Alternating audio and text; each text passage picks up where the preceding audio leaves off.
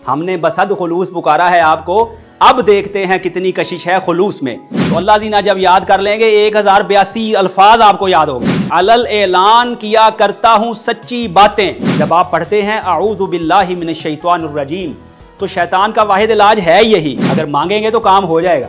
हम दुआएँ पढ़ते रहते हैं, मांगते नहीं। वादा याद रहे तो हमारे सारे मामला और मसाइल हल हो जाएँगे। अलहमदिल्ला रबालमीन वसलात वाला आलिही व साहब अजमैन अम्माबाद आऊज़बिल्लिमिनशैतरजीम बसमीम मोहतरम मुकर्रम हाजरीन सामीन तलबा तालिबात सबसे पहले कासिम अली शाह फाउंडेशन का शुक्रगुज़ार हूँ उन्होंने ये मौका इनायत किया कि आप लोगों से मुखातिब हो सकूँ। और आज के मौजू पर कुछ गुजारशात जो हैं, वो आपके गोश गुज़ार कर सकूँ। आज का हमारा मौजू कुरान मजीद, फ़ुरक़ान हमीद के हवाले से है, जैसा कि आपको यकीनन मालूम है, तर्जमा कुरान क्लास। तो सबसे पहले इसका मुख्तसरा मकसद बयान करना चाहूँगा कि कुरान मजीद, फ़ुरक़ान हमीद, किताब हिदायत और किताब इनकलाब है। हमारी बड़ी खुशकस्मती है, खुशबख्ती है कि अल्लाह रब्ज़त ने हमें नबी मुकर्रम सल्लल्लाहु अलैहि वसल्लम के तवस्सुल और तसद्दुक से कुरान मजीद, फ़ुरक़ान हमीद जैसी अज़ीम नेमत अता फ़रमाई।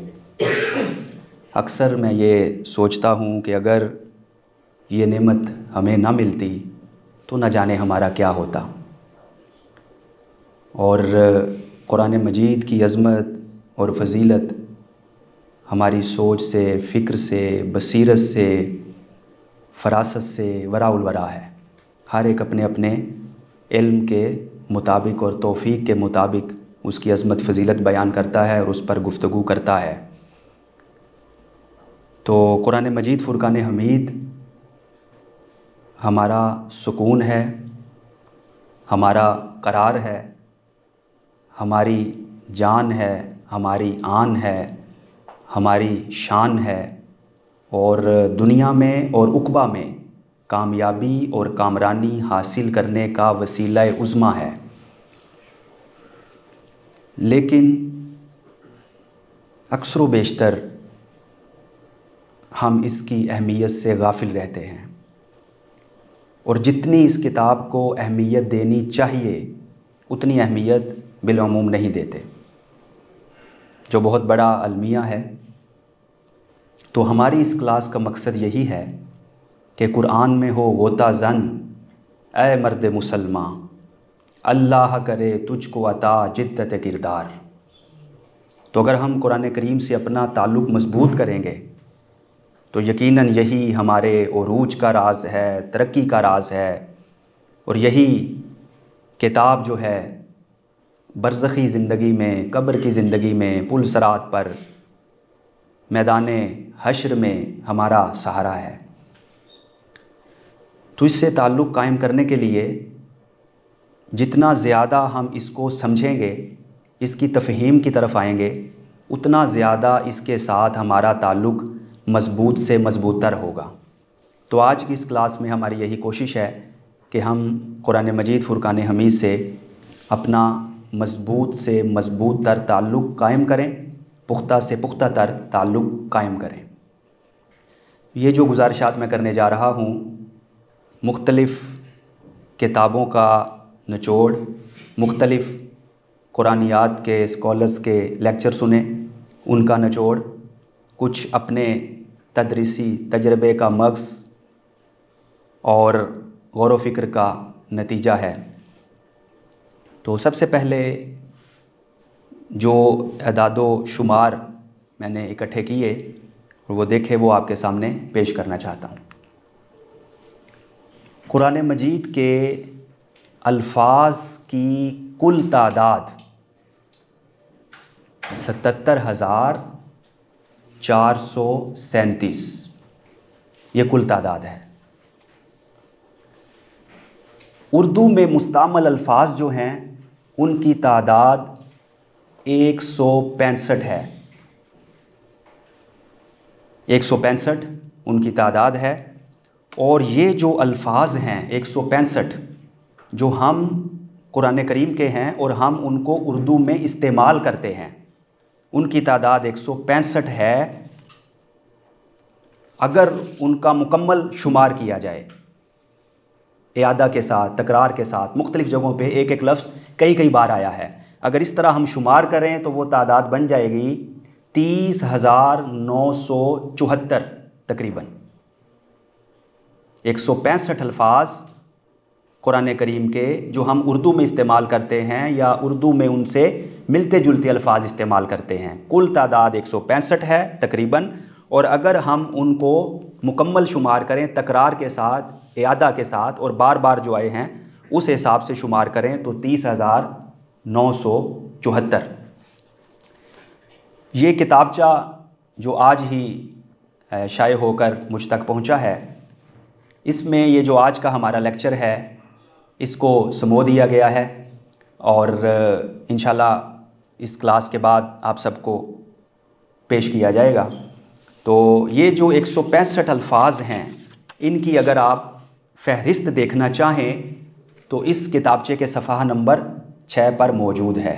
एक सौ पैंसठ अल्फाज जो तीस हज़ार नौ सौ चौहत्तर बार आए हैं। उसके बाद कसीरुल इस्तेमाल अल्फाज। कुरान मजीद में बहुत कसरत के साथ इस्तेमाल हुए हैं। उनकी तादाद है एक सौ तैंतालीस। और कितनी दफ़ा वो आए हैं एक सौ तैंतालीस अल्फाज? अड़तीस हज़ार सात सौ अठारह बार। कुल अल्फाज एक सौ तैंतालीस हैं। आए हैं अड़तीस हज़ार सात सौ अठारह बार। और ये इस किताब के, इस किताबचे के सफ़ा नंबर चौदह पर फहरिस्त मौजूद है। एक सौ तैंतालीस अल्फाज की। तो ये इनको अगर जमा किया जाए, एक सौ तैंतालीस को और एक सौ पैंसठ को जमा किया जाए तो तीन सौ आठ अल्फाज बनते हैं। और अगर दोनों मजमूए जो बताए गए हैं, उनको जमा किया जाए तीस हज़ार नौ सौ चौहत्तर, जमा अड़तीस हज़ार सात सौ अठारह तो ये उनहत्तर हज़ार छः सौ बानवे का अदद हासिल होता है। अब फिर देखिए, कुरान करीम के कुल अल्फाज की तादाद सतहत्तर हज़ार चार सौ सैंतीस तकरीबन उर्दू में इस्तेमाल होने वाले और कसीरुल इस्तेमाल अल्फाज, जिनकी तादाद तीन सौ आठ है।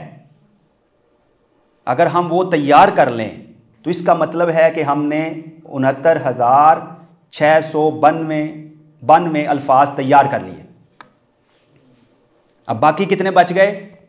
सतहत्तर हज़ार चार सौ सैंतीस में से उनहत्तर हज़ार छः सौ बानवे निकाले तो बाकी कितने बच गए? सात हज़ार सात सौ पैंतालीस। तो ये एक जायज़ा है जो एदाद शुमार के हवाले से मैंने आपके सामने पेश किया। जो उर्दू के अंदर इस्तेमाल होने वाले कुरान करीम के अल्फाज हैं, जिनकी तादाद एक सौ पैंसठ है। उर्दू के हैं या उर्दू से मिलते जुलते हैं? तो वो तो यकीनन हमें याद करने की ज़रूरत और हाजत नहीं है।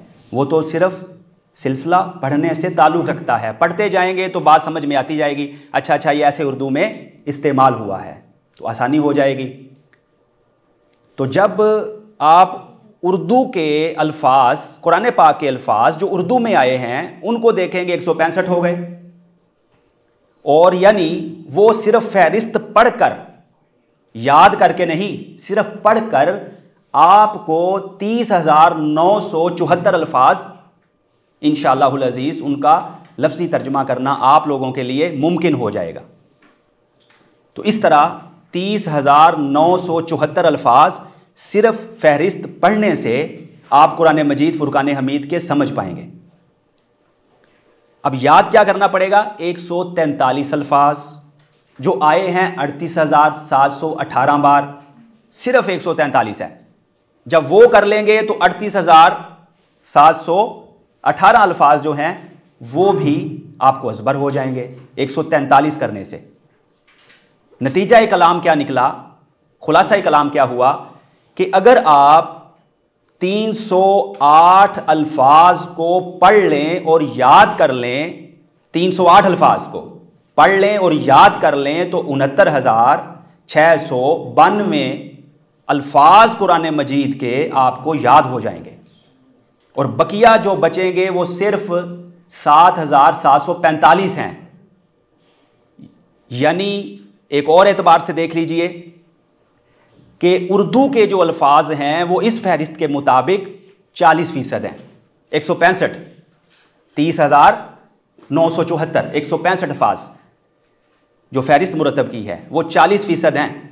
और जो कसीरुल इस्तेमाल हैं, यानी बहुत ज़्यादा कसरत के साथ इस्तेमाल होते हैं, जिनको एक सौ तैंतालीस की फहरिस्त में जमा कर दिया है, वो पचास फ़ीसद हैं। तो यानी चालीस और पचास कितने फ़ीसद होगा? नब्बे फ़ीसद। यानी इस मुख्तसर सी फहरिस्त के बाद और ये मुख्तसर सा जो किताबचा है, इसको अजबर करने के बाद इन अज़ीज़, आपको तकरीबन नबे फ़ीसद कुरान मजीद का तर्जमा करना आ जाएगा। आपके लिए आसान हो जाएगा। और दस फ़ीसद अल्फाज रह जाएँगे। जब नबे फ़ीसद आ जाएँगे, दस फ़ीसद रह जाएँगे तो इन अज़ीज़, फिर आपका जहन इस तरह मुतवजह होगा कि ये हम बाकायदा तौर पर जो अल्फाज रह गए हैं, दस फ़ीसद इनको बाकायदा तौर पर याद कर ले वक्त दे के। तो इसमें दो चीज़ें मैंने इस क्लास के हवाले से ज़िक्र की थी। एक तो है जी 308 अल्फाज। और दूसरी बात, आसान तरीन कवायद। दो चीज़ें। तो अब हम दूसरी चीज़ की तरफ़ बढ़ते हैं। तो ये फहरिस्त तो आप इंशाल्लाह किताबचे से देख लेंगे। तो दूसरी चीज़ जो है ये आप कह लीजिए इसका जो ज़्यादा हिस्सा है, जैसे अंग्रेज़ी ज़बान में टेंसिस होते हैं, ये उनसे मुतक है। छः कसीरुल इस्तेमाल हरूफ, यानी कुछ हरूफ ऐसे हैं जो कुरान करीम में बहुत कसरत के साथ इस्तेमाल हुए हैं, और ज़्यादातर जो उनका ताल्लुक है टेंसिस ज़माने के साथ है। पास्ट प्रेजेंट फ्यूचर माजी हाल मुस्तकबिल। तो अब हम इसकी तरफ़ आते हैं। इसके बाद हम फिर तावुज़, तस्मिया और सूरतुल फातिहा पे इसकी ततबी करेंगे, यानी इनकी इम्प्लीमेंटेशन करेंगे। तो इन जब उसको आप करेंगे, मश्क से गुज़र जाएँगे तो आप ख़ुद में एक बहुत बड़ी तब्दीली इन महसूस करेंगे। तो इनकी तरफ़ आते हैं। ये थोड़ा सा आपकी तवज्जो मज़ीद जो है वो चाहिए होगी। तो ये छः अल्फाज हरूफ जो हैं, उनको लिखा है, अलिफ, ता, नून, या, काफ, हा। उर्दू में कह लें तो अलिफ, ते, नून, ये, काफ, है, इस तरह पढ़ लेते हैं। तो ये जो अल्फाज हैं जी, अलिफ, ता, नून, या, काफ, हा, ये छह हरूफ हो गए। अब इनको सबसे पहले जब ये मैंने लिखा था तो कुछ तलबा तालिबात, शिकवा कुना होते हैं कि जी ये याद कैसे हों, भूल जाते हैं कितने हैं। तो उनकी आसानी के लिए ये एक मजमुआ मुरतब कर दिया, इतनी के। तो मैंने कहा कि इतनी के, इतनी सी बात है, इतनी के। इसको आप अगर अजबर कर लें तो छह हरूफ जो हैं, वो आपको कभी भूलेंगे नहीं। इतनी के, बस ये याद रख लें, इतनी के। जी अब देखिए कायदा नंबर एक, इतनी। यानी अलिफ, ता, नून, या। लफ्ज के शुरू में आए तो दो असूल लागू होंगे। अगर इतनी का जो एक मजमुआ है, इनमें से अलिफ, ता, नून, या, चार हरूफ हो गए। अगर ये लफ्ज के शुरू में आए तो दो असूल लागू होंगे। क्या होंगे जी? सबसे पहले मतलब इनका इस तरह होगा। अलिफ का मतलब होगा मैं, ता का मतलब होगा तू, नून का मतलब होगा हम या का मतलब होगा वो। अलिफ, मैं, ता, तू, नून, हम, या, वो। ठीक है जी? मिसाल के तौर पर, अलिफ, मैं, ता, तू, नून, हम, या, वो। और आसान कर दूँ? कुछ लोग कहते हैं यह भी ज़रा मुश्किल लग रहा है, और आसान कर लें। अलिफ जो है, वो किससे मिलता जुलता है? अंग्रेज़ी ज़बान के हर्फ, आई के साथ। तो बस याद हो गया जी, अलिफ और आई मिलते जुलते हैं। और ता तू तो वैसे मिलता जुलता है। ता का मतलब तू। और नून याद करना पड़ेगा हम। और ये, उर्दू वाला ये है ना, जिसको हम या पढ़ रहे हैं अरबी में, ये वो। ठीक है जी? तो ये सारे इस तरह आप याद कर सकते हैं। तो ये इतनी का मजमुआ हो गया। ये जब शुरू में आएँगे तो अलिफ का मतलब मैं, ता का मतलब तू, नून का मतलब हम, या का मतलब वो। पहली बात। दूसरा कायदा क्या है? इनके बाद आने वाले लफ्ज का तर्जमा। हाल और मुस्तकबिल में होगा, प्रेजेंट एंड फ्यूचर में होगा।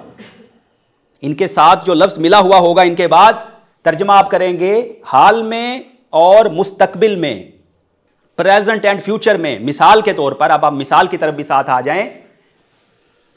मिसाल जो सबसे पहले लिखी हुई है, इल्मुन। इल्म का क्या मतलब है? जानना, सबको पता है, मालूमात, जानना, इल्म का यह मतलब है। तो अब अलिफ के साथ अगर हम इल्म लगाएँ अगर कुरान पाक में मिसाल के तौर पे ये लिखा हो, आलामू मैं जानता हूँ। मुजक्कर के लिए भी मुन्नस के लिए भी। मैं जानता हूँ, जानती हूँ, जानूँगा, जानूगी। सारे आ गए उसमें। यानी प्रेजेंट भी आ गया, फ्यूचर भी। हाल भी आ गया, मुस्तकबिल भी आ गया। तो ये क्या लगा जी? अलिफ। इसी के साथ अगर हमने ता लगा दिया, तालमू। तू जानता है, तू जानेगा। तू जानती है तू जानेगी। अगर इसी के साथ हमने लगा दिया इल्म के साथ नून शुरू में तो ना लामू हम जानते हैं, जानेंगे या हम जानती हैं, हम जानेगी। प्रेजेंट एंड फ्यूचर भी आ गया और मुजक्कर मोनस भी इसमें आ गया। और अगर लगा हो या तो या का मतलब है वो। जैसा कि ज़िक्र किया, या लामू वो जानता है, वो जानेगा। ले जी, ये चार हरूफ का जो है वो इस्तेमाल हमने जाना कि किस तरह करते हैं। इल्म से उसकी मिसाल ली।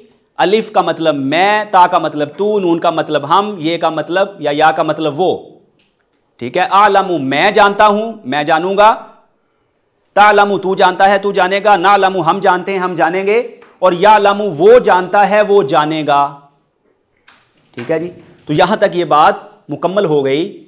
इसका जो कायदा नंबर एक लिखा था, इतनी के हवाले से वो समझ में आ गया कि जब किसी लफ्ज़ के शुरू में आप अलिफ देखें तो मतलब करेंगे मैं, ता देखें तो मतलब करेंगे तू, नून देखें तो मतलब करेंगे हम, और या देखें तो मतलब करेंगे वो, और प्रेजेंट एंड फ्यूचर में करेंगे। ठीक है जी? हाल और मुस्तकबिल में करेंगे। अब आ जाए जी कायदा नंबर दो की तरफ़। पहले कायदा भी इतनी का था, यानी अलिफ, ता, नून, या। अब दूसरा कायदा भी इसी के मुतालिक है इतनी में से दो हरूफ, ता, नून, लफ्ज के आखिर में आए तो दो असूल लागू होंगे। शुरू में आ गए तो जो असूल बने, जो मफहूम बना, बता दिया।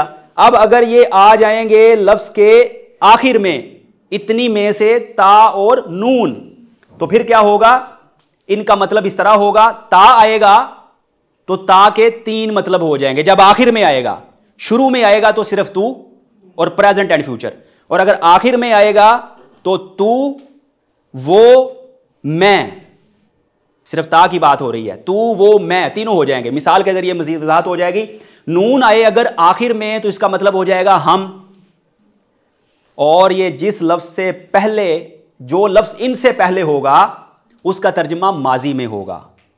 पहले वाले जो हरूफ थे, वो लफ्ज के शुरू में आते थे और प्रेजेंट एंड फ्यूचर का मतलब उनसे लिया जाता था। और ये जो हरूफ हैं, ता और नून, ये आते हैं आखिर में। और मफहूम इनका लिया जाता है पास्ट में, माजी में। मिसाल के तौर पे सब्रुन, सब्र करना, सबको मालूम है, सब्र करना। कुरान पाक में भी कसरत के साथ लफ्ज़ इस्तेमाल हुआ, उर्दू में भी हम इस्तेमाल करते हैं। तो अब देखिए, पहला उसमें जो बताया था उसूल, वो ये था कि ता अगर लफ्ज़ के आखिर में आए तो मतलब होगा तू वो मैं। जी, इसको आपने किया जी, ता का मतलब क्या है? ता जबरता तू एक मर्द ने, मसलन सबरता तू एक मर्द ने सब्र किया। सबर ती, तू एक औरत ने सब्र किया, और सबर तू, मैं एक मर्द या मैं एक औरत ने सब्र किया। और अगर इस पे जज्म आ जाए ता पर तो क्या होगा? उस एक औरत ने साबारत उस एक औरत ने सब्र किया। ठीक है जी? तो कितने इसके जी इस्तेमाल हो गए? चार इस्तेमाल हो गए। ता शुरू में आए लफ्ज के तो तू के मतलब में प्रेजेंट एंड फ्यूचर। और अगर ता आखिर में आए तो चार मतलब।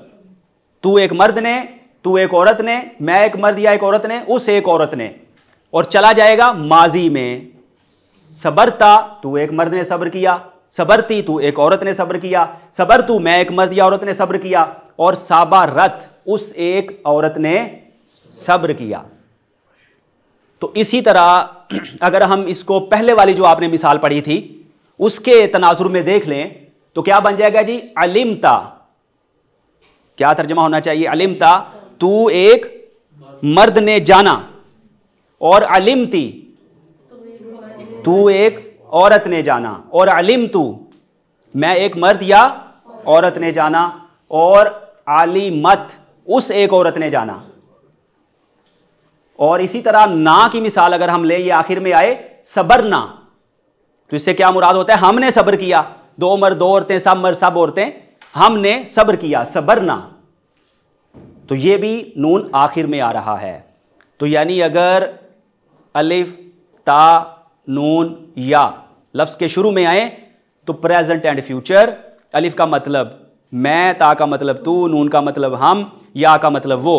और अगर उनमें से दो हरूफ जो है आखिर में चले जाएँ, वो जो बताए ता और नून तो पास्ट सबसे पहले पास्ट माजी में तर्जुमा करना है। और दूसरे नंबर पर आपने क्या करना है?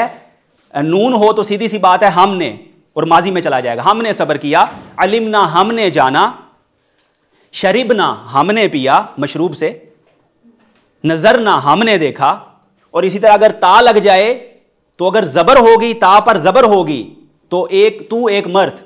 और अगर ता के नीचे जेर होगी, तू एक औरत। ता के ऊपर पेश होगी, मैं एक मर्द या औरत। और अगर ता पे जज्म होगी तो उस एक औरत। जी, अब आ गए आखिरी दो हर्फ। इसके बाद हम मश्क की तरफ़ चलेंगे। या, काफ और हा के आखिर में, या, काफ और हा लफ्स के आखिर में आए तो इनके मान इस तरह होंगे। तीन आ गया ये, तीन हरूफ। उसकी पहले बात हुई थी चार की, अलिफ, ता, नून, या। अब या फिर इसमें आ गया दोबारा। ठीक है, या इसमें दोबारा आया है। एक पहली मिसाल में आया, अब इसमें आ गया। तो इसमें तीन आ गए, या, काफ और हा। लफ्स के आखिर में आए तो इनके मान इस तरह होंगे। ये जितनी मिसालें हैं, ये नाउन के साथ ताल्लुक रखती हैं, इसम के साथ। पहले वाली जितनी मिसालें हमने दी थी, उनका ताल्लुक था ज़माने से टेंसिस से पास्ट प्रेजेंट एंड फ्यूचर से। तो ये जो हम मिसालें देने लगे हैं, इनका ताल्लुक है इसम से नाउन के साथ। यानी इनका ताल्लुक नाउन के साथ अगर हो, या का, काफ का, हा का तो क्या मतलब बनेगा? या अगर किसी भी इसम के आखिर में नाउन के आखिर में लगा दें तो मतलब बन जाएगा मेरा। मेरा या मेरी। और मिसाल के तौर पर किताबी मेरी किताब। इससे पहले फेल था? जैसा कि मैंने अर्ज़ किया कि ये जमाने की हम बात टेंसेस की बात कर रहे हैं। तो ये हम बात कर रहे हैं नाउन्स की कि ये जो अब या पहले लगी थी फेल में जैसे या अलामू वो जानता है वो जानेगा। अब जो या लगी है वो लग गई है इस नाउन के साथ। तो जैसे आपने कहा किताबी मेरी किताब। कलामी मेरा कलम। मुजक्कर भी कह सकता है मुन्नस भी कह सकती है। यानी मर्दोजन दोनों इसको इस्तेमाल कर सकते हैं। और उसके बाद का, काफ आ गया का। अगर काफ के ऊपर जबर हो तो होगा तेरा, मुजक्कर के लिए। और अगर काफ के नीचे जेर हो तो होगा तेरी मोन्नस के लिए। यह सूरत हाल होगी। अगर जबर हो तो तेरा, मुजक्कर के लिए। अगर जेर हो तो तेरी यानी मुअन्नस के लिए। मिसाल के तौर पर आपने कहा, किताबू का, तुझ एक मुजक्कर की किताब। और अगर आपने कहा, किताबू की, तुझ एक मुअन्नस या खातून की किताब तो इस तरह इन दोनों का फ़र्क किया जाएगा। जैसे हम आमतौर पर, आपने सुना होगा, अगर आपके साथ कोई अच्छा सलूक करता है तो आप क्या कहते हैं बदले में जनाब? जजा कल्लाह खैरन। अल्लाह ताला आपको जजा अता फरमाए। लेकिन सामने जो आपके साथ अच्छा सलूक करने वाला है वो कोई मर्द होगा, मेल होगा तो फिर आप उसको कहेंगे जजा कल्लाहू खैरा। और अगर सामने जिसने आपके साथ अच्छा सलूक किया है, माँ, बहन, बेटी या फीमेल या मोनस या खातून तो फिर उसके लिए कहेंगे जजा किल्लाहू खैरा। जजा कल्लाहू कहना गलत होगा, क्योंकि मुन्नस के लिए जजाकिल्लाहु, काफ जर की है, मुजक्कर के लिए काफ जबर का है तो इन दोनों का फ़र्क हो गया। उसके बाद रह गया हु। हा रह गया। हु उस एक मर्द का और हा उस एक औरत का। जैसे, कलम हु उस एक मुजक्कर का कलम और कलम हा उस एक मुन्नस या औरत का कलम। आसानी के साथ इसको समझने के लिए बड़ी मारूफ मिसाल दे दूँ। जैसे हम कहते हैं, मिसाल के तौर पर, हज़रत अबू बकर सिद्दीक रदी अल्लाह अनहु, रदिया राज़ी हो अल्लाह अल्लाह अनहु, उससे, उस एक मर्द से। और अगर लगाएँ हज़रत आयशा हज़रत आयशा सिद्दीका रदी अल्लाह अनहा तो ये हु का और हा का फ़र्क जो है वो वाज हो गया। तो अगर तो है, हु होगा तो वो मुजक्कर के लिए उसका, और अगर हा होगा तो मुन्नस के लिए उसका आएगा। जी, उसके बाद जो है, अब हम अगली मिसाल की तरफ़ अगली स्लाइड की तरफ़ बढ़ते हैं। तो ये जब थोड़ी सी मश्क होगी तो जितनी चीज़ें हमने पढ़ी हैं इन ताला उनका यादा और तकरार होगी तो फिर आपको मज़ीद चीज़ें जो हैं वो निखर कर सामने आएँगी कि अच्छा अच्छा इस तरह है। तो कुरान मजीद का लफ्जी व बा मुहावरा तर्जमा करने के लिए इस तरतीब को मलहूज रखिए। जब आपने तर्जमा करना है तो कैसे करना है? उर्दू में मुस्तामल कुरानी अल्फाज का तर्जमा कीजिए। अब ज़रा सबकी मैं ख़ास तौर पर तवज्जो चाहूँगा और इसके बाद चाहूँगा कि जब हम सूरा फातिहा का तावुज़ का, तस्मिया का तर्जमा करें तो आप भी उसमें शरीक हो जाएँ सब। सबसे पहले कोई भी अरबी की आयत है, कुरान है, हदीस है, कोई अरबी का टुकड़ा है तो उसको आप करेंगे, सबसे पहले ये तलाश किया करें कि इसमें उर्दू में जो हम अल्फाज इस्तेमाल करते हैं, क्या इसमें कोई मौजूद है? सबसे पहले ये देखा करें कि उर्दू वाला लफ्ज़ जो हम इस्तेमाल करते हैं, इसमें है, अगर है उसका तर्जमा तो आपको आता है, लेकिन बाज़ात कितनी ही चीज़ें इंसान को पता होती हैं, लेकिन उनको, उसको ये नहीं पता होता कि मुझे पता है। कितनी चीज़ें आपको मालूम हैं, लेकिन ये भी मालूम नहीं कि हमें मालूम है। तो हमारी क्लास का मकसद यही है कि बताया जाए कि ये ये चीज़ें आपको मालूम हैं और बिलूम आपको ये मालूम नहीं कि वो आपको मालूम है। ये हमारी क्लास का मकसद है। ठीक है जी? उर्दू में मुस्तामल कुरानी अल्फाज का तर्जमा कीजिए सबसे पहले। हो गया, ये तो आपको फ़ौरन पता चल जाएगा और यही हमने थोड़ी सी मश करना है कि कैसे पता चलेगा। उसके बाद आप देखिए उर्दू अल्फाज से मुशाबे कुरानी अल्फाज का तर्जमा कीजिए। मुशाबे मतलब मिलते जुलते। उर्दू कई अल्फाज ऐसे होते हैं, हम उर्दू में इस्तेमाल करते हैं, कुरान पाक का लफ्ज़ है, उर्दू में भी करते हैं। और कुरान पाक में उससे मिलता जुलता लफ्ज़ मौजूद है। यानी वो बिल्कुल वैसा ही लफ्ज़ इस्तेमाल नहीं करते जैसा उर्दू में करते हैं। लेकिन कुछ ना कुछ मिलता जुलता मफहूम उससे आप अक्स कर सकते हैं दूसरे नंबर पे। ये सबसे आसान पहले काम किया उर्दू वाले। फिर देखे कि उर्दू अल्फाज से मुशाबे कुरानी अल्फाज कौन से हैं? यानी कुरान पाक का लफ्ज़ है, उर्दू में हम उससे मिलता जुलता लफ्ज़ इस्तेमाल करते हैं। तीसरे नंबर पर देखिए कसीर इस्तेमाल कुरानी अल्फाज। उनका तर्जमा कीजिए, क्योंकि वो आपने फहरिस्त याद कर ली होगी। जब आप इस काम में आगे बढ़ेंगे तो इन उम्मीद है कि आप वो फहरिस्त पढ़ चुके होंगे, याद कर चुके होंगे। तो उनसे, उनकी मदद से आप तर्जमा करेंगे। फिर आप देखेंगे कि इतनी के के कवायद के मुताबिक तर्जमा क्या बनता है। वो जो आपने अभी कायदे पढ़े हैं अलिफ्ता नून, या काफ हा और फिर जब बा मुहावरा तर्जमा सबका तर्जमा आपको आ गया लफ्ज़ों का। अब ये आ, मुश्किल पेश आती है कि जनाब इसका मफहूम बन क्या रहा है? ये सलीस तर्जमा इसका क्या होगा? तो वो एक छोटा सा कायदा लिखा है बा मुहावरा तर्जमे के लिए बाएँ जानब से शुरू कीजिए। अरबी का जब आपने तर्जमा करना है तो अरबी तो ऐसे लिखी होगी आपके सामने जैसे ही उर्दू लिखी हुई है ऐसे लिखी होगी। लेकिन आपने तर्जमा जब करना है एक एक लफ्ज़ का तो ऊपर लिख लिया आपने। अब जब तर्जमा करना है तो बाएँ जानिब से शुरू करना है आपने। ले जी, सबसे पहले आऊज़ु बिल्लाही मिनशैतवानुर्रजीम अब ये मकाम आ गया है कि मैं चाहूँगा कि आप भी इसमें शरीक हों, ताकि जितनी चीज़ें हैं, उनका यादा और तकरार हो जाए और आपके जहन में वो पुख्ता हो जाए। जी, सबसे पहले आ गया जी आऊज़ू बिल्कुल सही आऊज़ू मैं पनाह माँगता हूँ। तो ये कौन सा कायदा हो गया? इतनी के। क्योंकि अगर अलिफ आए तो उसमें मैं का तर्जमा किया जाता है और प्रेजेंट एंड फ्यूचर का किया जाता है। यानी अब आप क्या कहेंगे? आऊजू, मैं पनाह माँगता हूँ, मैं पनाह मांगूँगा। पनाह माँगता हूँ, पनाह मांगूँगा। दोनों मफहूम आ गए प्रेजेंट एंड फ्यूचर आ गया। तर्जमा करने में भी आसानी हो गई। और ये वैसे भी अगर आप देखें तो ये उर्दू के अल्फाज से मिलता जुलता लफ्ज़ है जो हम उर्दू में बिलूम इनको इस्तेमाल करते हैं इनसे मिलते जुलते अल्फाज। मिसाल के तौर पर उर्दू में कैसे इस्तेमाल करते हैं इससे मिलता जुलता लफ्ज़? जी। माशाल्लाह। तावीज़। तावीज़। तावीज़ का मतलब क्या है? अल्लाह की पनाह में आना। तो तावीज़ का असल मतलब है अल्लाह की पनाह में आना। जो चची ताई पुफो भतीजी को डाल दें कि वो फेल हो जाए वो तावीज़ नहीं होता। हाँ जी। उसको तावीज़ नहीं कहते। ये अलग बात है कि हमारे ये मुहावरे में मशहूर हो गया। तावीज़ का मतलब तो भाई सीधा सा है अल्लाह की पनाह में आना। ये तावीज़ है। जिसके साथ अल्लाह की पनाह में आया जाए। तो अब ये इसका एक लंबा सफ़र है कि मौजूदा सूरत तक तावीज़ कैसे पहुँचा। ठीक है, उसमें चमड़ा और ये चीज़ें कैसे आई, ये एक लंबा सफ़र है। उलमा ने एहतियात के पेश नज़र उसको चमड़े का हुक्म दिया कि चमड़े में इसको लपेटा जाए। ताकि आपने वॉशरूम जाना है, दीगर मकाम पर जाना है तो बेअदबी ना हो। असल तो यही है, कुरान की कोई आयत लेकर गले में लटका लें, ये तावीज़ है। अयातुल कुर्सी लटका लें, कोई दुआ लटका लें। चमड़े का तस्वुर इसलिए आया ताकि उसका अदब कायम रहे। तो बहरहाल, बात और तरफ़ निकल जाएगी तो तावीज़ इससे मिलता जुलता। इसी तरह हम उर्दू में एक और लफ्ज़ इस्तेमाल करते हैं। हम कहते हैं, कोई बात बुरी लगे तो कहते हैं नाउज बिल्ला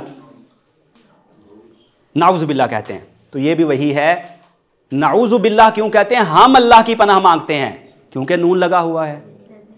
अलिफ हो तो मैं आऊजु बिल्ला ही आऊजु मैं पनाह माँगता हूँ, मैं पनाह मांगूँगा। नाउजु तू, हम पनाह मांगते हैं, हम पनाह मांगेंगे। और ताउजु तू पनाह माँगता है, पनाह मांगेगा। और याऊजु, वो पनाह माँगता है, वो पनाह मांगेगा। माशाल्लाह साहब, सब लोग ही साहिबान दानिश बैठे हैं, फ़ौरन जो है वो बात तक, तह तक पहुँच जाते हैं। जी, उसके बाद ये दूसरे लफ्ज़ पे आ जाएँ।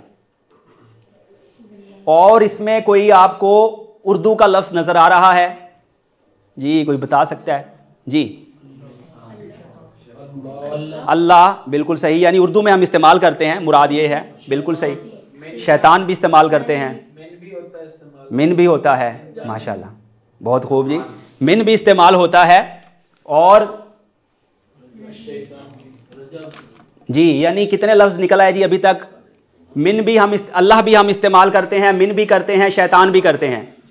शैतान का लफ्ज़ भी इस्तेमाल करते हैं, ठीक है? शैतान को हम इस्तेमाल करते हैं, वो हमें भी कर जाता है, ठीक है जी? तो ये जो है, इसको कह लीजिए आपके जनाब, कितने लफ्ज़ निकल आए? अल्लाह निकल आया, मिन निकल आया, शैतान। यानी ये अल्फाज उर्दू के जो हम इस्तेमाल करने वाले, हम लोग इस्तेमाल करते हैं उर्दू वाले, ये सारे अल्फाज साबित हो गए। इसके अलावा रजीम भी मिलता जुलता है जैसे सजाए रजम। हाँ वो रजीम चेंज और है। सजाए रजम। ठीक है जी, सजाए रजम। रजम की सज़ा जो इस्लाम में है, वो उससे मिलता जुलता है। यानी उर्दू अल्फाज के साथ, लफ्ज़ के साथ मिलता जुलता है।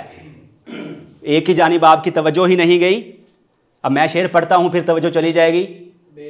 बा का लफ्ज जो है बे। हमने बसद खलूस पुकारा है आपको। बसद। हमने बसद खलूस पुकारा है आपको। अब देखते हैं कितनी कशिश है खलूस में। ठीक है जी? तो ये देखें ना जी, बसद। हमने बसद खलूस पुकारा है आपको। अब देखते हैं कितनी कशिश है खलूस में। तो ये बसद हम इस्तेमाल करते हैं। हम बजरिया इस्तेमाल करते हैं। हम बिला वासिता इस्तेमाल करते हैं। हम बिल वासिता इस्तेमाल करते हैं। बावजू, बड़ी अच्छी आपने मिसाल दी। तो इसी तरह ये अल्फाज इस्तेमाल होते हैं। और मिन जो है, मिन भी उर्दू में कसरत के साथ इस्तेमाल करते हैं। मिन जानब, कोई ख़त लिखते हैं या कोई इश्तहार है, नीचे लिखा होता है, मिन जानब, फुला। इस तरह हम इस्तेमाल कर लेते हैं। तो इसी तरह शायर ने कहा था, जो हाल दिल है, मिनो अन रकम किया जाए। ये मिनो अन भी बड़ा इस्तेमाल करते हैं। जिसको अक्सर लोग गलत पढ़ते हैं मन्नोआन मन्नोआन पढ़ पढ़ लेते हैं। ठीक है? या और तरीकों से अपने अपने लहजों में पढ़ लेते हैं। मन्नोआन वगैरह। तो इसको या मिन व अन। तो ये असल तरकीब उर्दू में कैसे आएगी? मिनोआन मिन से वा और अन के बारे में। यानी कोई ऐसा काम जो मुकम्मल तौर पर आप बताना चाहते हैं। मुकम्मल तौर पर, यानी ए टू जी जो हाल दिल है मिनोअन रकम किया जाए कि अब ज़रूरत तशबी हो इस्तारा नहीं। मिनवान ठीक है? इसमें मिनवान इस्तेमाल हो गया। अब आ जाए जनाब तकरीबन ये सारे अल्फाज तो हो गए। आउज़ो उर्दू से मिलता जुलता और इतनी में आ गया। बी, बिल्लाही, ये भी आ गया उर्दू में इस्तेमाल, हो गया। अल्लाह का भी, मिन भी, अशैतान भी अर रजीम भी मिलता जुलता है। तो ये सारे अल्फाज हम कह सकते हैं, या तो उर्दू में हम इस्तेमाल करते हैं और या इनसे मिलते जुलते उर्दू में इस्तेमाल करते हैं। अभी तक कोई ऐसा लफ्ज़ नहीं आया जो आपको अलग से कुछ याद करना पड़े। तो अब क्या हुआ जी? मैं पनाह माँगता हूँ। साथ अल्लाह के से शैतान मरदूद या रजीम रांदा दरगाह मरदूद। तो अब इसको हमने बामुहावरा तर्जमा करना है। सलीस पैराए में तर्जमा करना है। तो कैसे हो गया? मरदूद शैतान से अल्लाह के साथ मैं पनाह माँगता हूँ। जैसा कि मैंने बताया था कि बाई से दाई जानिब चलिए। तो अब देखें कितना तर्जमा आसान हो गया। मरदूद शैतान से अल्लाह के साथ मैं पनाह माँगता हूँ। तो अब इसको थोड़ा सा और मजीद हम निखार पैदा कर लेंगे कि मैं मरदूद शैतान से अल्लाह की पनाह माँगता हूँ, अल्लाह की पनाह में आता हूँ। तो ये इस तरह तर्जमा करने में आसानी हो जाती है। अब आ जाए जी, बिस्मिल्लाहिर्रहमानिर्रहीम की तरफ़। जी, अब इसमें अगर मैं आपसे गुजारिश करूँ कि कितने अल्फाज उर्दू के हैं जो हम उर्दू में इस्तेमाल करते हैं। सभी करते हैं। बा का मतलब साथ, इसम, नाम कुत इश्क से हर पस्त को बाला कर दे, दहर में, इसमें मोहम्मद से उजाला कर दे। तो ये वही इसम है। ठीक है जी? अल्लाह भी हो गया, रहमान भी हो गया और रहीम भी हो गया, जिनको हम इस्तेमाल करते हैं। जी तो सात नाम अल्लाह के, रहमान है, रहीम है। सात नाम अल्लाह के रहमान है, रहीम है। तो ये जो अलिफ लाम है इसमें, इस पर भी बात कर लें, जो अलिफ लाम है, इसकी बेशुमार अकसाम है, अलिफ लाम की।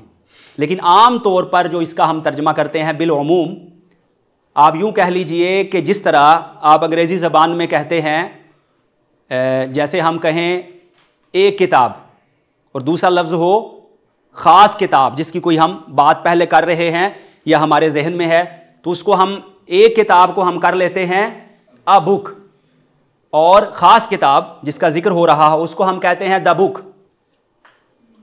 इस तरह हम तर्जमा कर लेते हैं। और अरबी में अगर कहें एक किताब तो किताबुन। और अगर ख़ास किताब, अल किताब। लौह भी तू, कलम भी तू, तेरा वजूद, अल किताब।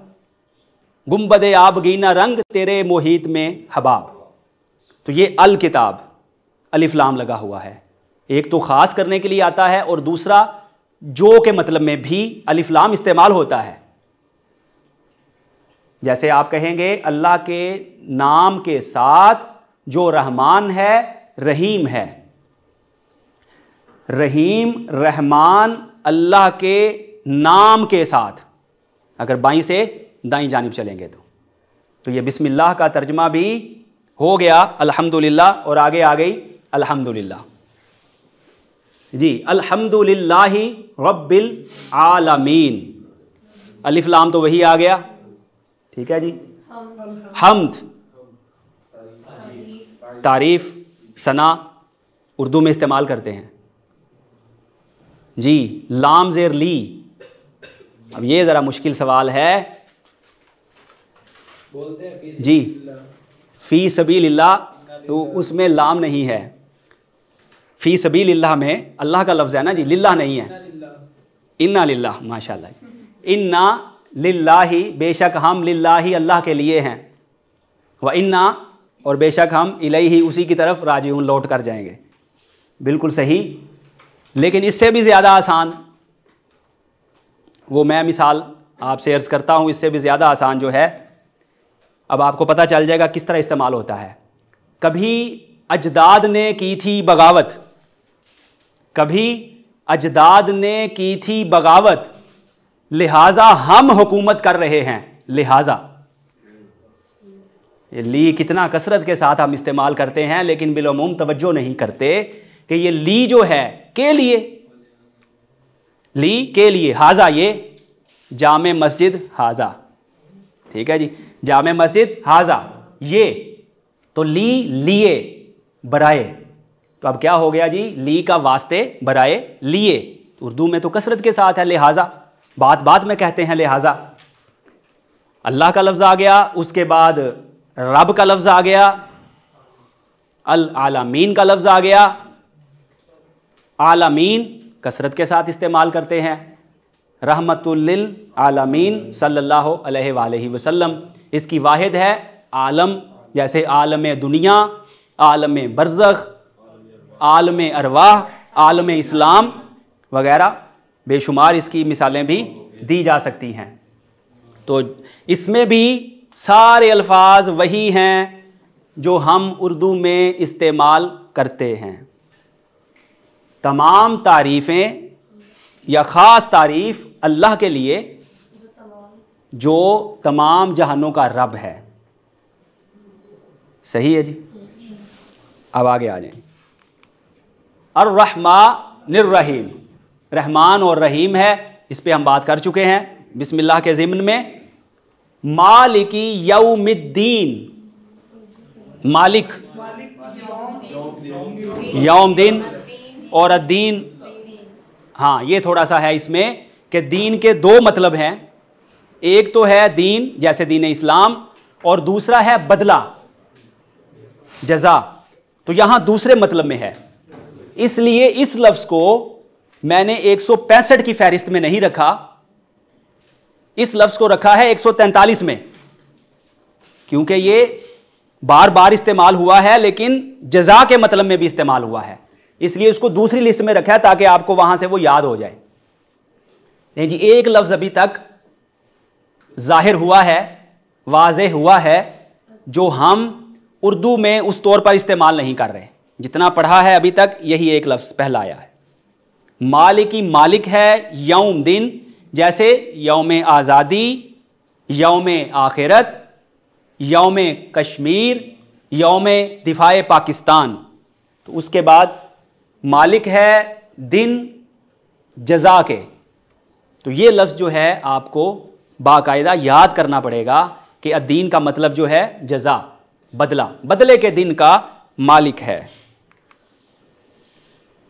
आयत नंबर चार आ गई ईया का नाबुदू व ईया का नस्ताइन अब ये जो लफ्ज़ है ईया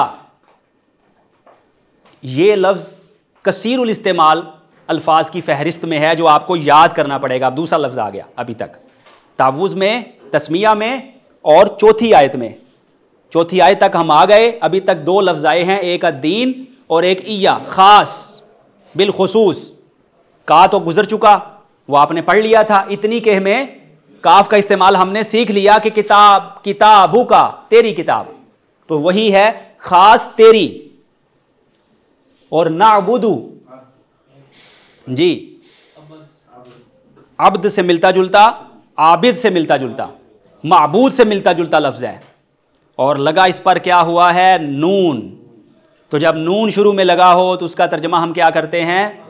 हम ना बुदू हम इबादत करते हैं। हम इबादत करेंगे। प्रेजेंट एंड फ्यूचर में चला गया। तो ख़ास तेरी हम इबादत करते हैं। यहाँ तक बात आ गई। ये नाबुदू कहाँ होगा? इतनी कह में। उसके बाद, वा। वा का लफ्स और। उर्दू में हम इसको भी इस्तेमाल करते हैं। जी, किस तरह इस्तेमाल होता है? शौको न्याजो इज्ज के सांचे में ढल के आ शौको न्याजो इज्ज के सांचे में ढल के आ ये कूचाए हबीब है, पलकों से चल गया। तो ये जो है, देखें वाओ आ गया, शौको, न्याजो इज्ज तो ये वाओ आ गया, दो दफ़ा वाओ इस्तेमाल हो गया।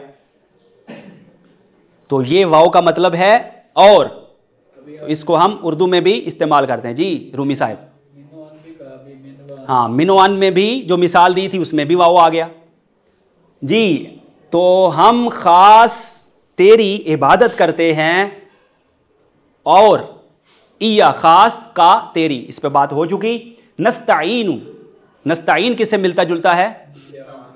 इस्तेनत मदद, तलब करना मतलब? एनत ताउन, मुआवनत। इन सबसे ये लफ्ज़ मिलता जुलता है। और इस पर लगा हुआ है नून। तो जब नून लगेगा तो कहेंगे, हम मदद तलब करते हैं। हम मदद तलब करते हैं। हम ख़ास तेरी इबादत करते हैं और ख़ास तुझसे ही मदद मांगते हैं या मदद तलब करते हैं। आयत नंबर पाँच। इहदी। पहला लफ्ज आ गया, इहदी। जी, इहदी किससे मिलता जुलता है? उर्दू के लफ्ज से हिदायत, हादी, महदी वगैरह इनसे मिलता जुलता है। इहदी। तो इसका मतलब होगा, तू हिदायत अता फरमा। तू हदायत अता फरमा। ये फ़ेल अमर में आ जाता है। फ़िलहाल हमारी इस वक्त की जो गुफ्तु है, उसका ये मौजू नहीं है। क्योंकि इसके लिए थोड़े और कवानीन बयान करने पड़ेंगे। तो एह दी, इस, बस इतना फ़िलहाल। जान लीजिए कि हिदायत से मिलता जुलता है। हादी, हिदायत, महदी महदी वगैरह। तो ये आ गया, एहदी तू हदायत अता फरमा, उसके बाद ना। जी, ना। हमें। उर्दू में इस्तेमाल करते हैं। जी। ना का लफ्ज़ किस तरह इस्तेमाल होता है? नहीं, वो जो लफ्ज़ है, जिस तरह ये फिर इंसाफ नहीं करेंगे हम लफ्ज़ों के साथ, ये है आखिर में लफ्ज़ के। आपने जो मिसाल इरशाद फरमाई, वो है शुरू में। इंसाफ और ना इंसाफ़ी। मालूम और ना मालूम, ये आता है मुतजाद बनाने के लिए ऑपोजिट के लिए। हम जो मिसाल चाह रहे हैं, वो है लफ्ज़ के आखिर में ना आए और उर्दू में भी हो। जी, मौलाना कमर साहिब। मौलाना आ गया, नून ज़बर अलिफ ना। और सैदना ये वाला नून है। और मौलाना जो है, ये तो हम कसरत के साथ इस्तेमाल करते हैं। जी, तू हदायत अता फरमा ना हमें। असरात रास्ता उर्दू में इस्तेमाल करते हैं कसरत के साथ, पुल सिरात। इसको हम इस तौर पर इस्तेमाल करते हैं। जी, मोहब्बतों के सफ़र पर निकल के देखूँगा। अब देखिए सिरात को किस तरह शायर ने बांधा। राहत अंदोजी ने मोहब्बतों के सफ़र पर निकल के देखूँगा। ये पुल सिरात अगर है तो चल के देखूँगा। ये सिरात आ गया। तो उर्दू में कसरत के साथ शुरा ने भी इस्तेमाल किया उदाबा भी इस्तेमाल करते हैं, हम अवाम भी इस्तेमाल करते हैं। और अल मुस्तकीम ख़त मुस्तकीम सीधा तो सिरात मुस्तकीम सीधा रास्ता। हमें चला सीधे रास्ते पर। जी, उसके बाद सिरात अल्लादीना अनामता अलहिम। सिरात, वही पहले वाला लफ्ज़ आ गया अल्लादीना वो लोग जो, वो लोग जो, ठीक है जी? ये वो लफ्ज़ है जो आपको याद करना पड़ेगा और ये कसीरुल इस्तेमाल अल्फाज की फहरिस्त में मौजूद है। एक और लफ्ज़ आ गया। अब तीन लफ्ज़ हो गए अभी तक। अदीन ईया और अल्लाह दीना वो लोग जो ये एक दफ़ा याद कर लें वो लोग जो कुरान पाक में एक हज़ार बयासी बार आया है। तो अल्लाह दीना जब याद कर लेंगे, एक हज़ार बयासी अल्फाज आपको याद हो गए। अल्लाह दीना वो लोग जो। अनअमता। नेमत। इनाम, नेमत। और इतनी के का कायदा लगा हुआ है। आखिर में ता है, ऊपर ज़बर है, तूने इनाम किया। अगर ता आखिर में लगी हो, माजी में तर्जमा करेंगे और तूने मुजक्कर के लिए इस्तेमाल होता है तूने इनाम किया। जी उसके बाद ये दो लफ्ज़ों का मजमु है अला और हिम। अला अला अला इससे मिलता जुलता है। और हिम हमसे? नहीं वो वाला नहीं है अला आला से मिलता जुलता है उलूफ बुलंदी। उर्दू में हम कैसे इस्तेमाल करते हैं? बिल्कुल यही लफ्ज़ अला। हर्फ जो है, हर्फ बहरफ इसी तरह। बहुत खूब जी। अला हाजल के आस बाकी लफ्जों पे को भी इसी पर क्यास कर लें। अला वजहिल बसीरा। लेकिन मैं और एक आपको आसान बता दूँ। अलल ऐलान। अलल ऐलान किया करता हूँ सच्ची बातें। अलल एलान किया करता हूँ सच्ची बातें। चोर दरवाजे से आंधी नहीं आया करती। मुजफ्फर वारसी साहब का शेर है। अलल ऐलान किया करता हूँ सच्ची बातें, चोर दरवाजे से आंधी नहीं आया करती तो ये अला है। उसके बाद ही हिम,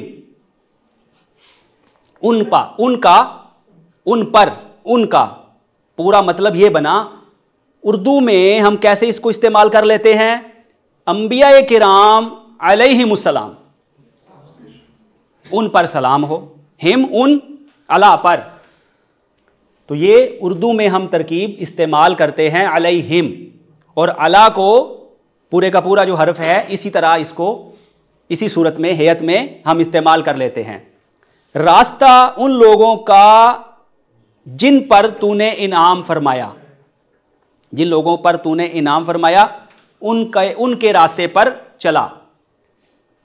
गैर मकदूबी अलैहिम वलद्दालीन। आखिरी आयत आ गई। गैर। उर्दू में इस्तेमाल कैसे करते हैं? गैर। गैर हाजिर। बहुत खूब जी। गैर ज़रूरी।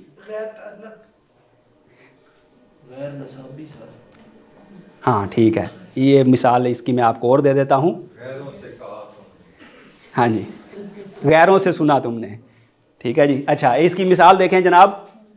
गैर मुमकिन है कि हालात की गुत्थी सुलझे। गैर मुमकिन है कि हालात की गुत्थी सुलझे, अहले दानिश ने बहुत सोच के उलझाई है। गैर मुमकिन मुमकिन और गैर मुमकिन।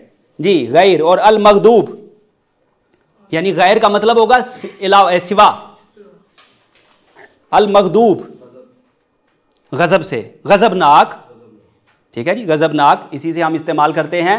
और मखदूब जिस पर गजब किया गया हो जिस पर गजब किया गया हो गुस्सा किया गया हो अलहिम फिर वही आ गया। वाओ वाह फिर वही आ गया। ला जी ला को हम किस तरह इस्तेमाल करते हैं? ला का मतलब नहीं? ला ताल्लुक। ला इल्मी ज़बरदस्त। ला शूर बहुत सी मिसालें इसकी दी जा सकती हैं। शायर ने कहा था, जरा सा गौर करने पर हकीकत यूँ खुली मुझ पर कि जो भी इल्म सीखा है, फ़कत ये इल्म देता है कि मैं ला इल्म हूँ अब तक। ला इल्म, ठीक है जी? और उसके बाद क्या आ गया जनाब, आखिरी लफ्स अब्दालीन ये शायद किताबों में आपने पढ़ा होगा, जलालत। कि जी, नबी करीम सल्लल्लाहु अलैहि वसल्लम की आमद से पहले दुनिया जहालत और जलालत में डूबी हुई थी। जलालत मतलब गुमराही जवाद के साथ। तो दाल लीन दाल की जमा है, गुमराह लोग। ये जो या नून है, ये अक्सर हम जमा के लिए इस्तेमाल करते हैं। किसी भी लफ्ज़ के आखिर में या नून लगा हो। उर्दू में भी हम इस तरह इस्तेमाल करते हैं, जैसे मुस्लिम से मुस्लिमीन कातिब से कातिबीन, कारी से कारीन तो इस तरह हम इसको इस्तेमाल कर लेते हैं। तो यहाँ से अब ये हमारा सिलसिला मुकम्मल हो गया और अब हम देखते हैं कि सिर्फ़ तावुज़, तस्मिया और सूरा फातिहा पढ़ने के बाद हमने कितने कुरान पाक के कम अज़ कम अल्फाज और हरूफ सीख लिए हैं। अब ये देखते हैं। तो अभी तक थोड़ा सा खुलासा मैं एक दो जुमलों में बयान कर दूँ कि हमने तावुज़, तस्मिया और सूरतुल फातिहा समझने की, पढ़ने की, सीखने और सिखाने की कोशिश की तो इसमें सिर्फ़ हमें तीन लफ्ज़ ऐसे मिले हैं जो हमें याद करने पड़े। इया, ख़ास। अल्लाह दीना वो लोग जो। और तीसरा, अद्दीन, जजा के मतलब में। सिर्फ़ तीन है। बाकी सारे अल्फाज ऐसे हैं जो उर्दू अल्फाज उर्दू में हम इस्तेमाल करते हैं। या वो उर्दू अल्फाज से मिलते जुलते हैं। कुरान पाक के अल्फाज हैं, उर्दू अल्फाज से मिलते जुलते हैं। उर्दू अल्फाज के तौर पर इस्तेमाल करते हैं या उर्दू में वो कुरान पाक का लफ्ज़ हम उससे मिलता जुलता इस्तेमाल करते हैं। तो इस जायज़े से हमें ये मालूम हुआ तो तीन लफ्ज़ रह गए या ख़ास, अल्लाह दीना वो लोग जो, और दीन बमाना जजा। अब चंद हरूफ को शुमार किया। कि हमें कितने अल्फाज आ गए सिर्फ़ सुरह फातिहा सीख कर तो बी जब हमने सीखा, अगरचे उर्दू में भी इस्तेमाल होता है तो 2540 बार कम अज कम कुरान पाक में आया है। 2540 बी का मतलब सात। 2540 बार। मिन 3228 बार। अल आठ हज़ार तीन सौ उनहत्तर बार। ली लिहाजा वाला, तीन हज़ार छः सौ छप्पन बार। वाह नौ हज़ार पाँच सौ बहत्तर बार। अल्ला दीना, एक हज़ार बयासी बार। अला, एक हज़ार चार सौ पैंतालीस बार। गैर, एक सौ सैंतालीस बार। ला, एक हज़ार छः सौ सतासी बार। कुल तादाद बन गई इकतीस हज़ार सात सौ छब्बीस। सिर्फ़ सूरह फातिहा, तावुज़ और तस्मिया समेत हमने पढ़कर सीख कर इकतीस हज़ार सात सौ छब्बीस कम अज़ कम। अल्फाज जो हैं, अल्हम्दुलिल्लाह, अजबर कर लिए। जी, तावुज़ तस्मिया और सूरतुल फातिहा सीखने के फ़वाद समरात अब ये जो आज हमने क्लास का इंतज़ाम किया, इससे हमें फ़ायदे क्या मिले? तावुज़ तस्मिया और सुलह फातिहा में मौजूद तमाम अल्फाज या तो हम उर्दू में इस्तेमाल करते हैं, या फिर वो उर्दू अल्फाज से मिलते जुलते हैं। सवाए इन दो अल्फाज के, ईया का और अल्लाह दीना। ठीक है जी? ईया का और अल्लाह दीना। तो इनके अलावा सारे अल्फाज जो हैं वो उर्दू से मिलते जुलते हैं। जी, एक और लफ्ज़, वो कौन सा था? अद्दीन। तो वो चूँकि दीन को हम बहुत ज़्यादा इस्तेमाल करते हैं, दीन इस्लाम, लफ्ज़ तो इस्तेमाल करते हैं। ठीक है? लेकिन इस मतलब में वो हमें कसीरुल इस्तेमाल फहरिस्त से मिलेगा। जी, दूसरा, तावुज़ तस्मिया और सूरतुल फातिहा सीख कर हम कुरान मजीद के इकतीस हज़ार सात सौ से जायद अल्फाज सीख चुके हैं। अब अगला सिलसिला देखिए। अब अगर हम कुरान मजीद का कोई भी सफ़ा खोलेंगे, अब आप घर जाइए, बल्कि घर जाने की जहमत भी मैं आपको नहीं दूँगा, यहीं पर सफ़ात भी मौजूद हैं। अभी हम देख लेते हैं। तावुस तस्मिया और सूरा फातिहा सीख कर हम कुरान मजीद के इकतीस हज़ार सात सौ से जायद अल्फाज सीख चुके हैं। अब अगर हम कुरान मजीद का कोई भी सफ़ा खोलेंगे तो उसकी हर सतर में हमें कम अज़ कम एक लफ्ज़ ऐसा मिलेगा, जो हम तावुस तस्मिया या सूरतुल फातिहा में सीख चुके होंगे। अब ये नमूने के तौर पे कुरान पाक का एक सफ़ा, जो चौथे पारे से लिया गया है। अब इसकी सबसे पहले हम पहली सतर में देखें, वा। अला, अल्लाह वाह ये आप सीख चुके हैं। तो इसमें बात क्या कही कि आप कुरान पाक का कोई भी सफ़ा खोल के सामने रख लें, उसकी कोई सतर देखें। आपको कम अज़ कम एक लफ्ज़ आता होगा, कम अज़ कम। ज़्यादा की हद नहीं है, तीन, चार, पाँच छः हो सकते हैं। उसके बाद देखिए, अभी आपने कसीरुल इस्तेमाल फहरिस्त याद नहीं की। अभी सिर्फ़ सूरज फातिहा की हद तक हम रहे हैं। अगर कसीरुल इस्तेमाल फहरिस्त याद कर लेंगे, उर्दू वाली फहरिस्त भी देख लेंगे, जो आप तक इंशाल्लाह पहुँच जाएगी। अगर वो पढ़कर याद करके कुरान पाक को देखेंगे तो अगर एक सत्र में बीस अल्फाज होंगे तो आपको सोलह, सत्रह, अठारह तक आते होंगे। सोलह, सत्रह, अठारह तक आपको आते होंगे इन अज़ीज़। तो अब इसमें देख लिया पहली सत्र में, दूसरी देखिए। तरतीब के साथ मैं बस बताता जाता हूँ ताकि जल्दी से सिर्फ़ एक सफ़ा हम देख लेंगे। जी, उसके बाद देखेंगे जी, वा, बिल्लाही, दो आ गए इसमें, और सिरात, तीसरी सतर, मुस्तकीम, अल्लाह, वा, ला, चौथी सतर, वा, दो दफ़ा आ गया, बी, अल्लाह, उसके बाद वाली सतर, वा, ला, फिर वाओ फिर नेमत उससे मिलता जुलता आ गया, फिर अल्लाह का लफ्ज़, फिर अला। उसके बाद वाली सतर बी आ गया, सबसे पहले बी आ गया, बी नियमती ही, और वाह आ गया। और उसके बाद वाली अला आ गया, मिन आ गया, और इसमें भी दोबारा मिन हा मिन आ गया। और उसके बाद, जी का ये तो नहीं हमने पढ़ा। जी उसके बाद आ गया जी अल्लाह और वाओ वाह आ गया। उसके बाद इस सत्र में वाओ वाह आ गया और बिल मारूफ में बी आ गया फिर वाओ आ गया। वाह और अगली सत्र में वाह है और हुम है हुम और हिम एक ही बात है। और उसके बाद फिर वाह है और ला है और अल्लाह जीना है।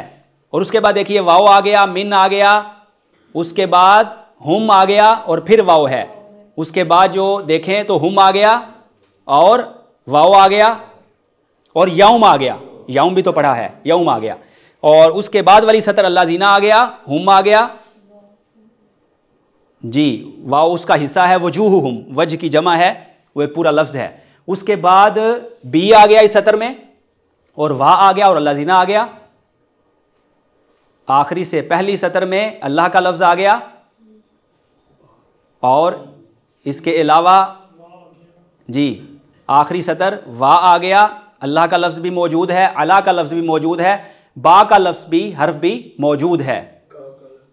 और अल्लाह का लफ्ज़ भी दो दफ़ा इसमें मौजूद है। जी तो ये इस फहरिस्त से जायज़ा हमारा ये मुकम्मल हुआ। इसको देखकर इस सफ़े को कि हर सतर में कुरान मजीद फ़ुरकान हमीद के हर सफ़े की हर सतर में अगर आप सूरतुल्फ़ातिहा को अच्छी तरह सीख लें तो एक लफ्ज़ आपको लाजमी आता होगा। सूरतुल्फ़ातिहा जो है, वो कुरान मजीद का मफाहिम मतालिब के तौर पर भी खुलासा है और अल्फाज के हवाले से भी खुलासा है। जी, ये दूसरा सफ़ा आ गया, इसको भी आप देख सकते हैं। और बिल्कुल अब आखिर में जो कुरान मजीद फ़ुरकान हमीद को समझने, पढ़ने और उसके साथ ताल्लुक़ मज़बूत करने का जो सबसे बड़ा मकसद है, वो क्या होता है कि हम उस पर अमल पैरा हो जाएँ। तो अब बिल्कुल आखिर में ये हम एक जायज़ा लेंगे कि आज अगर हम सूरतुल्फ़ातिहा पढ़ते हैं, तस्मिया पढ़ते हैं तो इसको, इससे हमने क्या सीखा? हम इससे क्या सबक हासिल कर सकते हैं?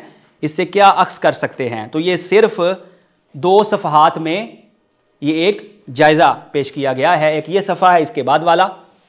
बिल्कुल ये अब अख्तामी लेक्चर के हिस्से में ये जानना भी ज़रूरी है, चूँकि कुरान करीम का असल मकसद यही है हदलमतकीन तो जब आप लफ्ज़ों पर गौर करते हुए, उनका लफ्ज़ी तर्जमा करते हुए आगे बढ़ेंगे, चलेंगे और फिर गौर फ़िक्र करेंगे कि हमारे लिए सबक क्या है। आज हमारा अलमिया ये है कि हम ये नहीं पूछते, देखते कि हमारे लिए इसमें सबक क्या है, कुरान हमसे क्या कह रहा है। कुरान से भी बातें कीजिए, कुरान आपसे बातें करे। तो ये मोमिन की, मुसलमान की महराज है। जी, इससे हमने क्या सीखा और एहतसाब हम कैसे कर सकते हैं? तो सबसे पहले ताउस, शैतान का वाहिद इलाज। शैतान ऐसा दुश्मन है, नज़र नहीं आता। तो एक बुज़ुर्ग से मैंने पूछा कि जी, आप कहते हैं शैतान के साथ जंग करनी चाहिए। तो वो तो नज़र ही नहीं आता। दुश्मन नज़र आता हो, जंग आसान। और जो नज़र नहीं आता, ना जाने कहाँ से हमला कर दे। तो उन्होंने फरमाया, आप भी उसे नज़र ना आए। मैंने अर्ज़ किया, वो कैसे? फरमाया कि आप तीन दफ़ा आऊज़बिल्लाही मिनशैतवानरजीम पढ़ लें, आप भी उसको नज़र नहीं आएँगे। तो ये तावुज़ है। अल्लाह की पनाह में आना। जब आप पढ़ते हैं आऊज़बिल्लाही मिनशैतवानरजीम तो शैतान का वाहिद इलाज है यही। हम उससे नहीं बच सकते, जब तक अपने आप को अल्लाह की पनाह में ना दे दें। जी मुआवज़तैन वो दो सूरतें जो कुरान पाक के बिल्कुल आखिर में है 113 नंबर 114 नंबर। उनके ज़रिए भी अल्लाह की पनाह में आया जाता है, इसलिए उनको मुआवज़तैन कहते हैं। यानी वो दो सूरतें जिनके ज़रिए आप अल्लाह की पनाह में आते हैं। उसी में भी, उनमें भी यही अल्फाज है ना, कुल आऊदू बिरबिल फ़लक और कुल आऊदू बिरबिन्नास उसमें भी आऊदू है। मफहूम यही है। जी, अल्लाह की हिफाजत का एहसास। तो जब आप आउज़बिल्ला पढ़ें तो फिर अल्लाह की हिफाजत का एहसास भी करें। कि अल्लाह ताला हमारा मुहाफिज है। वो हमारी हिफाजत कर रहा है। इस चीज़ के एहसास के साथ पढ़िए। कुछ लोग कहते हैं, जी, हम बड़ी दुआएँ पढ़ते हैं, काम नहीं होता। तो मैं कहता हूँ, भाई, दुआएँ पढ़ी नहीं जाती, दुआएँ मांगी जाती हैं। अगर मांगेंगे तो काम हो जाएगा। हम दुआएँ पढ़ते रहते हैं, मांगते नहीं हैं। पढ़ने की भी अपनी बरकत हैं, सवाब अपनी जगह पर है, लेकिन दुआ मांगनी चाहिए। जब मांगेंगे तो पता होना क्या मांग रहे हैं, पता ही नहीं। तो आउज़ बिल्ला पढ़ें तो अल्लाह की हिफाजत का एहसास आपको होना चाहिए। और फिर जिसको आप कह रहे हैं कि शैतान मरदूद से मैं अल्लाह की पनाह में आता हूँ, बचने की कोशिश करता हूँ तो क्या वाक़ ही उससे इजतनाब करते हैं? ये दो एहतसाब जो हर शख्स ने अपने आप से सवाल पूछना है, क्या मुझे अल्लाह की हिफाजत का एहसास है? आज मैंने शैतान की कितनी बातें मानने से इनकार किया। जब रात को अपने बिस्तर पर इस्तराहत के लिए जाएँ, आराम के लिए जाएँ, सोने के लिए जाएँ तो अपने आप से सवाल पूछ लें कि आज शैतान ने मुझे कितनी दावत दी और किस कदर मैं उसको इनकार कर सका और कितनी बार मैंने उसकी दावत कबूल कर ली? तो ये तावुज़ का पढ़ने का आपने जब पढ़ना है तो उससे एहतसाब अपना कैसे करना है? ये है, जी, तस्मिया। अहद अलस्त की याद दहानी। तस्मिया यानी बिस्मिल्लाहिर्रहमानिर्रहीम। आगाज़ कहाँ से हो रहा है? बी, बी से बिस्मिल्ला बी से। और जो इंसान वादा करके आया था जब अल्लाह ने पूछा था क्या मैं तुम्हारा रब नहीं हूँ? तो सबने कहा था बला क्यों नहीं? तो बिस्मिल्लाह क्यों है कि जी हर अच्छे काम से पहले पढ़ें। तो भाई उस वादे को याद करें। भूल जाना तो सबको आता है। कुछ तो दुनिया से मुनफरिद कर लो। तो उस वादे को याद रखें। तो वादा याद रहे तो हमारे सारे मामला और मसाइल हल हो जाएँगे। अहद अलस्त की याद दहानी अल्लाह की मदद पर यकीन। आप क्या कह रहे हैं? अल्लाह के नाम की मदद के साथ। फिर डर रहे हैं, परेशान हो रहे हैं। जब कह रहे हैं अल्लाह की नाम के मदद के साथ, अल्लाह की मदद के साथ तो अल्लाह की मदद का एहसास भी तो होना चाहिए कि वाक़ ही अल्लाह मददगार है और अल्लाह से बढ़कर कोई और मददगार नहीं है। अल्लाह के बारे अच्छा गुमान।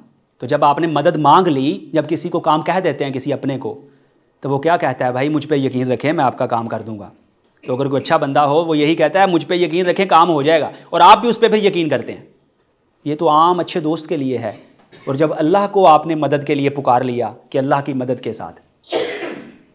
जी, अल्लाह की रहमत का एहसास। जब बिस्मिल्लाह पढ़ें, अल्लाह की रहमत का एहसास करें। वो रहमान रहीम है। अल्लाह रहमान है, अल्लाह रहीम है। तो जो रहमान और रहीम है, इतनी मोहब्बत फरमाने वाला है, इतना रहम फरमाने वाला है। तो हमें तनहा कैसे छोड़ेगा? क्यों कर हमें तनहा छोड़ेगा? ये एहसास होना चाहिए। और दूसरों के साथ हुसन सलूक। जब तस्मिया पढ़ें, फिर दूसरों के साथ हुसन सलूक पर भी आमादा हों। अल्लाह रहमान और रहीम है और हमें क्या हुक्म है? कि अल्लाह की सिफ़ात का जलवा बंदा मोमिन की शख्सियत से नज़र आना चाहिए। तो यही एहतसाब है, आज मैंने कितने लोगों से हुसन सलूक किया? अपने आप से सवाल पूछें। तस्मिया तो पढ़ते हैं सभी, बिस्मिल्लाह तो पढ़ते हैं। जी सूरतुल्फ़ात आयत नंबर एक। नेमतों पर अल्लाह का शुक्र। अल्हम्दुलिल्लाह रब्बिल आलमीन कहा तो नेमतों पर शुक्र भी किया करें। शुक्र सिर्फ़ ज़बानी नहीं होता, अमल के साथ भी होता है। अपनी सलाहियतों को दूसरों के लिए वक्फ करके भी होता है। अल्लाह की रज़ाकियत पर यकीन। अब मुख्तसर कर रहा हूँ। अल्लाह की रज़ाकियत पर यकीन। जब कहा, अल्हम्दुलिल्लाह रब्बिल आलमीन अल्लाह तमाम जहानों का रब है। रब का क्या मतलब है? परवरिश करने वाला, तरबियत करने वाला रिस्क देने वाला। तो इधर पढ़ा, अल्हम्दुलिल्लाह रब्बिल आलमीन, और उधर जो है रिस्क हराम की जानी मुतवजह हो गए। तो इसका मतलब है, अल्लाह की रज़ाकियत पर यकीन कामिल नहीं है। वो वसत फ़िक्री व नज़री। अल्हम्दुलिल्लाह रब्बिल आलमीन, वो आलमीन का रब है। सिर्फ़ मुसलमानों का रब नहीं है। सब का रब है। कीड़े मकोड़ों का भी रब है, जानवरों का भी रब है, हैवानात का भी रब है, मुसलमानों का भी रब है गैर मुस्लिमों का भी रब है, कुफार का भी रब है, मुनाफिकीन का भी रब है। तो ये बंदा मोमिन के अंदर वसत फ़िक्री व नज़री होनी चाहिए जब वो कहते हैं अलहमदिल्ला रबालमीन कायनात, दलील बारी ताला। अल्लाह रब है तमाम जहानों का। अल आलम आलम का मतलब क्या है? आलम का मतलब है निशानी। हर शय तेरे वजूद की आईनादार है। हर शय पुकारती है कि तू परवरदिगार है। तो सारी कायनात अल्लाह की निशानी है। आलम का मतलब ही यही है। जी, उसके बाद आयत नंबर तीन, आयत नंबर दो चूँकि तस्मिया में हो गई, उसका हिस्सा हो गया। मालिक हकीकी की अतात जितनी मलकियत है, ये सारी आर्जी है। हकीकी मालिक अल्लाह है, मालिक यौमुद्दीन, जो जजा के दिन का भी मालिक है, दुनिया का भी मालिक है। अगर हमारी मलकियत में कोई शय है तो वो आर्जी है, फ़ानी है। आखिरत की तैयारी तो आखिरत की तैयारी भी तो साथ होनी चाहिए। जब कहा मालिक यौमुद्दीन, और आखिरत की कभी फ़िक्र ही नहीं की। आयत नंबर चार, इबादत का वसी तस्वुर। है अल्लाह, हम तेरी इबादत करते हैं। तो इबादत सिर्फ़ मस्जिद में जाकर सजदा और सजूद का नाम नहीं है। रुकू करने का नाम नहीं है। इबादत का वसी तस्वुर है। दूसरों के काम आना भी इबादत है। दूसरों की खिदमत करना भी इबादत है। आँख से कुरान पाक की ज़्यारत करना भी इबादत है। हाथ से कुरान पाक को छूना भी इबादत है। चल कर कुरान पाक की क्लास पढ़ने के लिए, कुरान करीम समझने के लिए जाना भी इबादत है। अच्छी सोच, ये भी इबादत है। तो इबादत सिर्फ़ ये नहीं कि सजदा सजूद करते रहें, यकीनन वो भी इबादत है, लेकिन यही नहीं है। ये भी और ही का मामला समझना चाहिए। इस्लाम क्या कहता था? अल्लाह ही मबूद है। इसी आयत के तनाजुर में देख लें। अल्लाह ही मबूद है। और शिरक क्या कहता था? अल्लाह भी मबूद है। यही फ़र्क है। कुफर ने कहा, अल्लाह भी मबूद है। ये बुत भी मबूद है। इस्लाम ने कहा, अल्लाह ही मबूद है।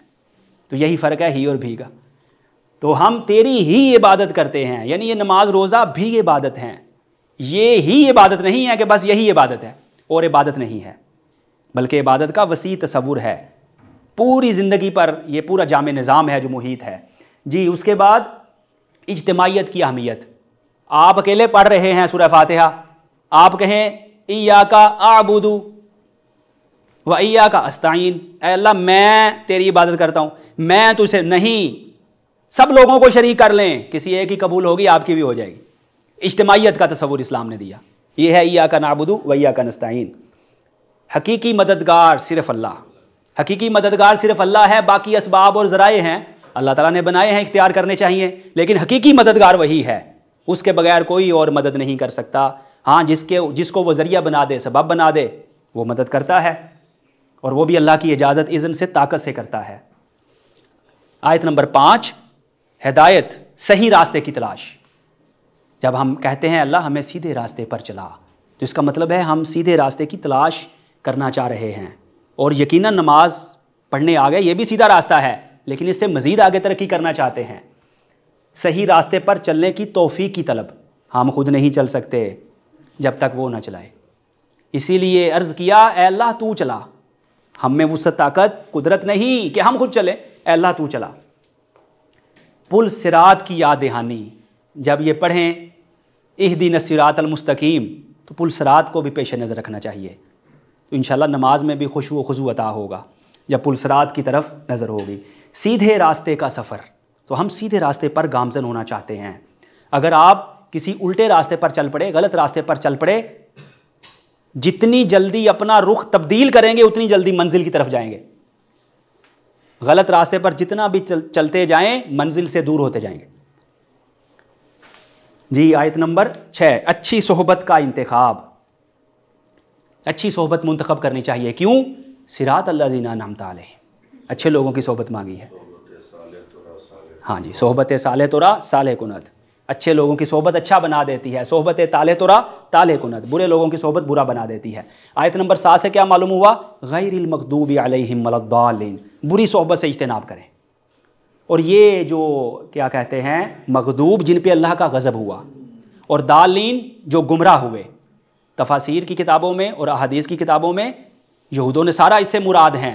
लेकिन अगर हम वसी तर तनाजुर में देखें, दीगर कुरानी आयात की रोशनी में देखें उसके मिजाज को समझें तो यहूद नसारा भी मुराद हैं और लोग भी मुराद हैं। वो कौन से हैं?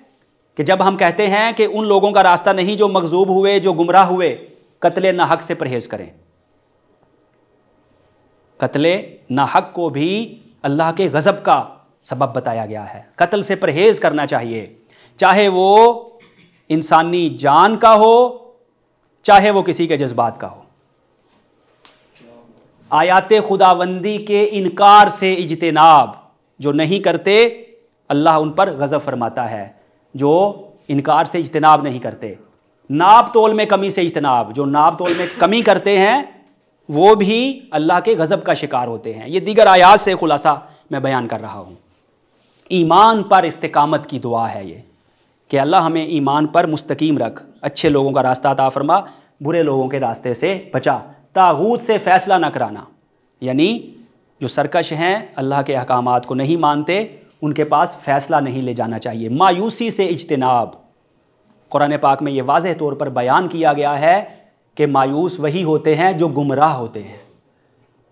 तो ऐसी गुमराही से भी हमने इजतनाब करना है। अब आखिर में एहतसाब। आज मैंने अल्लाह ताला की कितनी नेमतों पर शुक्र अदा किया। आज मैंने आखिरत की क्या तैयारी की? आज मैंने इबादत की कौन कौन सी किस्म पर अमल किया? आज मैंने कितने अच्छे लोगों की सोहबत इख्तियार की? आज मैंने अच्छे लोगों की कितनी आदात इख्तियार की? आज मैंने बुरी सोहबत से बचने के लिए क्या इकदाम किए? आज मैं बुरे लोगों की कितनी आदात से बचा? तो ये सारी बातें हैं किस्सा मुख्तसर, जिन पर हमें अमल करना चाहिए। यानी कुरान पाक को सबसे पहले समझने की कोशिश करना है, फिर उस पर अमल की कोशिश करना है और फिर दूसरों तक पहुँचाने की भी कोशिश करते रहना है। तो ये जो हमारी क्लास थी, इसका मकसद सिर्फ़ ये है कि हम अपना ताल्लुक़ ज़्यादा से ज़्यादा कुरान मजीद, फ़ुरक़ान हमीद से मज़बूत से मज़बूत तर करें, पुख्ता से पुख्ता तर करें। यही हमारी नजात का रास्ता है, यही उखरवी कामयाबी का ज़रिया है। तो ये एक, समझ लीजिए, रास्ता है। ये जो किताबचा है, जो इन जल्द आपको पेश किया जाएगा, ये किताबचा मंजिल नहीं है। ये रास्ता है। आपको एक रास्ता दिखाया है कि इस रास्ते पे चलते हुए कुरान करीम फ़ुरक़ान हमीद से अपना ताल्लुक़ मज़बूत से मज़बूत तर करें। अल्लाह ताला हमारी आज की ये काविश को, कोशिश को कबूल व मंजूर फरमाए और माशाल्लाह बहुत से जो अहबाब हैं, वो बैरून शहर से भी तशरीफ़ लाए हैं। तो उनका भी खसूस तौर पर शुक्रिया अदा करता हूँ, जनाब अहमद साहब, जनाब कमरुद्दीन साहब और एजाज़ इब्राहीम साहब और मोहतरम हैदर रज़ा रूमी साहब पंजाब यूनिवर्सिटी से खसूस तौर पर तशरीफ़ लाए और मेरे रफ़ीक कार हैं, जनाब प्रोफेसर हाफिज़ तारिक महमूद साहब, वो भी तशरीफ़ लाए, शफ़क़त फरमाई, आप सब भी तशरीफ़ लाए, कुछ जो है बच्चे हमारे कॉलेज से भी तशरीफ़ लाए हैं। तो सबका बहुत बहुत शुक्रिया। अल्लाह ताला हमारा हामी नासिर हो। अगर कोई सवाल हो तो मुख्तसरा दो चार मिनट हमारे पास हैं आप कर सकते हैं। इस हवाले से आज के लेक्चर के हवाले से।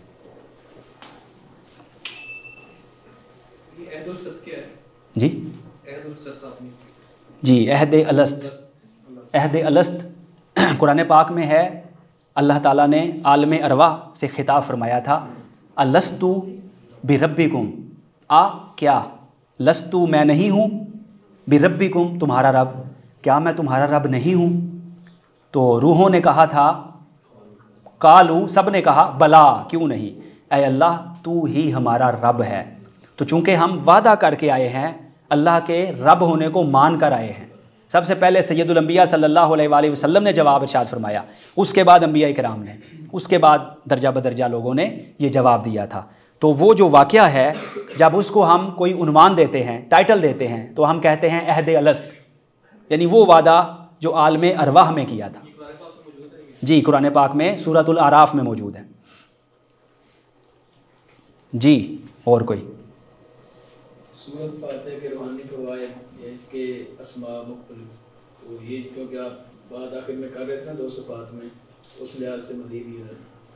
तो जी तो जैसा कि मैंने पहले भी ये सारे फ़वाद और समराज जो हैं वो अर्ज़ कर दिए हैं तो रूहानी हवाले से जी, रूहानी सबसे बड़ा जो रूहानी एक सिलसिला है, उसका मकसद क्या है? रूहानियत का मकसद क्या है? रूहानियत का मकसद ये नहीं है कि मैं अगर अल्लाह की तरफ़ बुला रहा हूँ तो लोग मेरी जानी मुतवजह हो जाए। रूहानियत का मकसद है कि अवामनास का रिश्ता, कोई भी शेख, मुर्शिद, हादी राह हदायत दिखाने वाला अल्लाह के साथ जोड़ता है। बल्कि बाज़ काबरी ने तो लिखा कि जो शख्स ये कहे कि मैं सीधा अल्लाह तक पहुँचाता हूँ, वो भी गलत कहता है। क्योंकि शेख का, मुर्शिद का, रूहानी शख्सियत का काम क्या है? बारगाह रसालत माम में पेश करते हैं। रसूल मुकर्रम सल्लल्लाहु अलैहि वसल्लम उसे अल्लाह तक ले जाते हैं। तो सूरा फातिहा क्या है? अल्लाह से ही, अल्लाह के ज़िक्र से ही आगाज़ हो रहा है, अल्हम्दुलिल्लाह। और फिर ईया का नाबुदू, हम तेरी ही इबादत करते हैं, तुझसे ही मदद मांगते हैं। तो लिहाजा इसका रूहानी सबक जो सबसे बड़ा यही है कि जो अल्लाह की जानब बुलाने वाला है वद इला सबीली वब्बी का बिल हिकमा, रब की तरफ़ बुलाइए। अपनी तरफ़ नहीं। अगर अपनी ज़ात दरमियान में आ गई किसी की भी तो वो तो फिर बुत बन गया सबसे बड़ा। अगर अपनी ही पूजा पाठ शुरू हो गई तो रूहानियत कहाँ रही और अल्लाह की तरफ़ बुलाना कहाँ रहा? तो सूर्य फातिहा का भी यही पैगाम अल्लाह के ज़िक्र से शुरू हुई। इबादत का तस्करा आया, हकीकी तौर पर मदद अल्लाह से मांगने का तस्करा आया, लेकिन इसके साथ साथ सीधे रास्ते की हदायत। अब सीधा रास्ता कैसे मिलेगा? चार ग्रोहों का ज़िक्र आ गया। जी, चार ग्रोहों का ज़िक्र आ गया अम्बिया सिद्दीकीन, शोहदा, सालेहीन। यानी सालेहीन की ज़रूरत है अम्बिया कराम की ज़रूरत है। लेकिन ये वो नफूस कुसियाँ हैं जो हमें अल्लाह तक वासिल करने के लिए, अल्लाह ने हमारे लिए इसबाब और वसीले बहम पहुँचाए हैं। तो यही रूहानियत का मकसद है और सूरह फातिहा सबसे पहले यही हमें दर्ज दे रही है कि अपनी तवज्जो अल्लाह रबुल्ज़त की तरफ़ रखें और उसके कुर्ब के मुतलाशी रहें। बाकी और मज़ीद भी इशारे जो है हो गए। जी। तो इन्हीं अल्फाज के साथ हम आज की जो क्लास है, इसके अख्ताम का बाकायदा तौर पर ऐलान करते हैं। अल्लाह ताला आप सबका हामी नासिर हो, आप सबको सलामत रखे। और यकीनन जो है, आप यहाँ पर तशरीफ़ लाए हैं। तो ये भी अल्लाह रबुल्ज़त की तरफ़ से एक इंतखब है कि उसने हमें, मुझे और आपको कुरान करीम की फ़हम तफ़हीम के लिए, आज के लिए, इस क्लास के लिए मंतखब किया। अल्लाह ताला सब की तोफ़ीक़ात में इजाफ़ा फ़रमाए। व मालबलागुलमबिन